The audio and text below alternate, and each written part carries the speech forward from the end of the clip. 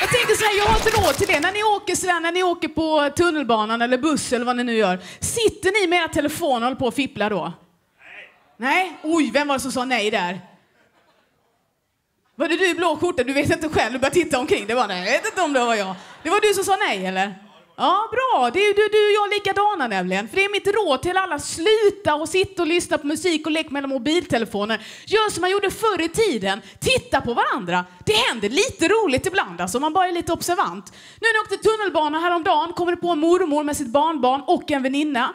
Mormor säger till sitt barnbarn, du fyller år snart, vad önskar du dig då? Ungen bara, jag vet inte. Jo, du önskar dig en cykel, eller hur? Ja, ja precis. Ja.